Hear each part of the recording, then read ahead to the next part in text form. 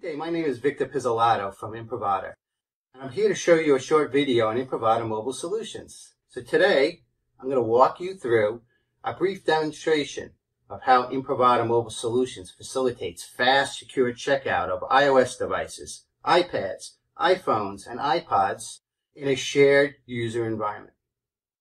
Healthcare is using shared devices to make patient care more efficient for their clinicians. However, with any shared device environment, it's important to add layers of security to prevent unauthorized access, diminish device displacement, and track these important assets.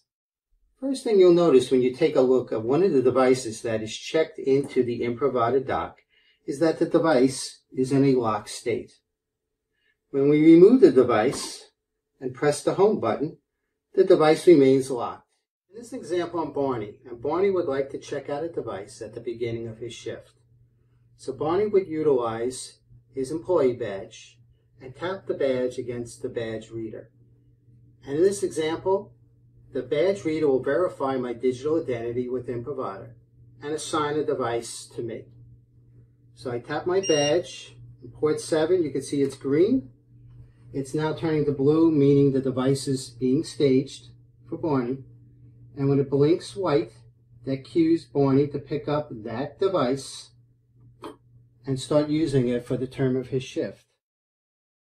At the end of Barney's shift, he returns the device to the docking station, and then the device goes through uh, a reset, which will stage the device for the next user.